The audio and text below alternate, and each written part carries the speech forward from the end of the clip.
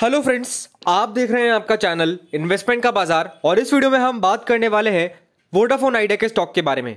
Friends Vodafone Idea के stock में आपको पिछले बीते दिनों काफ़ी बड़ी गिरावट देखने को मिली। ऑलमोस्ट दोस्तों बारह रुपए से स्टॉक दस रुपए तक फिसल गया।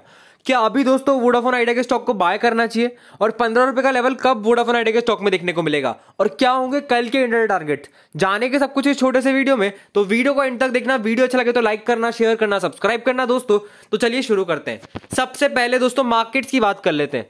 कल के दिन मार्केट में एक गहरा लाल निशान था। लगभग 500 पॉइंट्स की गिरावट दोस्तों आप कह सकते हैं निफ्टी में देखने को मिली थी। और अभी दोस्तों लगभग तीन सौ छियासठ अंकों की तेज़ी निफ्टी में करंटली बेसिस पर हो रही है। लगभग दो प्रतिशत का उछाल निफ्टी में देखने को मिल रहा है। तो डेफिनेटली दोस्तों एक तगड़ा पुल बैक मार्केट में आज के दिन जनरेट हुआ है जिसमें आप कह सकते हैं कि सारे स्टॉक जो भी कल के दिन गिरे थे वो सारे stocks out out outperform करके दिखा रहे हैं। चाहे वो टाटा पावर हो टाटा मोटर हो वोडाफोन आइडिया हो आ, सारे आप कह सकते हैं पीएसयू स्टॉक्स हो सब में एक तगड़ा पुल बैक बाउंस बैक आप लोगों को देखने को मिल रहा है। और उसमें वोडाफोन आइडिया का स्टॉक भी पीछे नहीं है दोस्तों। आप देख सकते हैं एक्टिव बाय वॉल्यूम में लगभग चार प्रतिशत की तेज़ी।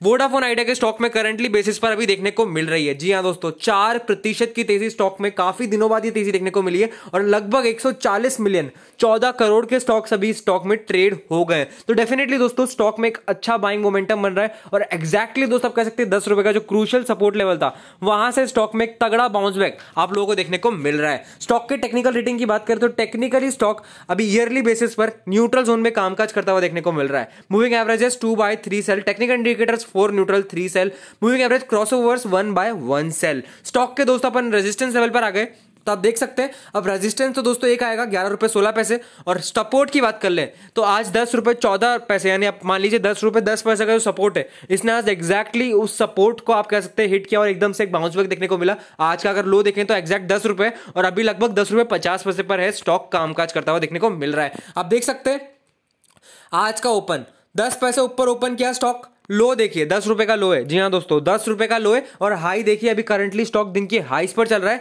दस रुपए पचपन पैसे का हाई स्टॉक ने लगा दिया है। तो डेफिनेटली दोस्तों स्टॉक आप कह सकते हैं एक्सट्रीमली ओवरसोल्ड जोन में कामकाज कर रहा है और अगर अब आप बाइंग करते हैं तो एक्सट्रीमली आप कह सकते हैं आपको अच्छा खासा रिटर्न नियर टर्म में वोडाफोन आइडिया के स्टॉक में देखने को मिल जाता है। दस रुपए एक्जैक्ट आप कह सकते हैं बाइंग जोन है, क्योंकि इतनी भी खराब फाइनेंशियल नहीं है कंपनी के दस रुपए के लेवल से नीचे फिसल जाए। और आप कह सकते हैं कि बजट में भी फाइव का अच्छा खासा फोकस किया गया था। तो डेफिनेटली दोस्तों वोडाफोन आइडिया स्टॉक में बाइंग बनती है। अगर अभी करंट सिचुएशन की बात कर ले तो दोस्तों तो आप बाइंग पोजीशन ज़्यादा है। आप देख सकते हैं three lakh sixty nine thousand orders buying पर है और one lakh seventy six thousand order selling side पर है। तो डेफिनेटली दोस्तों आज के दिन एक बड़े बड़े ब्रेकआउट वोडाफोन आइडिया के स्टॉक में देखने को मिल सकते हैं। स्टॉक की अगर अभी करंट प्राइस की बात करें, दोस्तों ऑलमोस्ट चौदह करोड़ शेयर आज के दिन स्टॉक में ट्रेड हुए हैं और लगभग दस रुपए पचास पैसे अभी स्टॉक का प्राइस चल रहा है। पैंतीस पैसे की तेज़ी दोस्तों स्टॉक ने दिखाई है। कल की दोस्तों गिरावट के बाद आज एक तगड़ा पुल बैक वोडाफोन आइडिया के स्टॉक में देखने को मिल रहा है। तो चलिए दोस्तों, अब चलते चलते हैं वोडाफोन आइडिया के इंट्राडे चार्ट पर और कल के और लॉन्ग टर्म के इंडिया टारगेट्स पर चर्चा करते हैं।